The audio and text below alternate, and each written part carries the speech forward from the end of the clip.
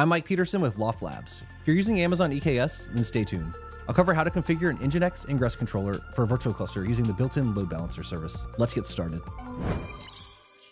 To start things out, we created a brand new EKS cluster, and we can see that with eksctl get cluster. It's going to show vcluster-demo-EKS. Then we're going to run kubectl get namespace, and that's going to show us the default namespaces that are created with a EKS cluster. After that, we need to install an Nginx ingress controller. We can do that with Helm. One of the only values that we have to actually set within this is controller.extraargs.enable SSL pass-through to true. And what this is going to let us do is use the SSL pass-through option to pass the traffic to the API running within the virtual cluster. So we'll run kubectl get service in the Nginx ingress namespace, and we're going to grep load balancer, and then we're going to print the actual load balancer information that we're going to need for our DNS record. So here what we'll do is we'll set up our DNS record real quick. Uh, we're going to set it up for demo.vcluster-demo.com. And then what we can do is we can create a namespace for the vCluster. So we'll use kubectl create namespace demo vcluster. After that, what we can do is go ahead and create the ingress resource. So kubectl create demo vcluster ingress, and let's go ahead and take a look at what's in that file. So here what we're doing is we're doing SSL pass through, SSL redirect, and the host name is demo.vcluster-demo.com. This is what your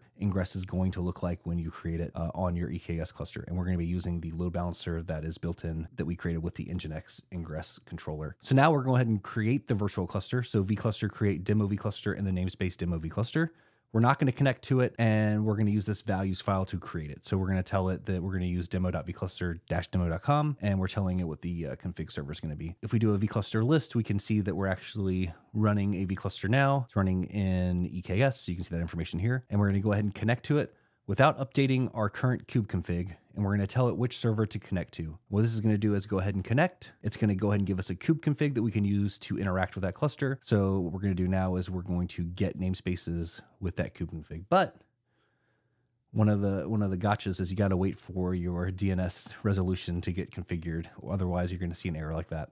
So now that we've waited a little bit, the the uh, DNS is configured. What we'll do is we'll get the namespaces again with that same kube config.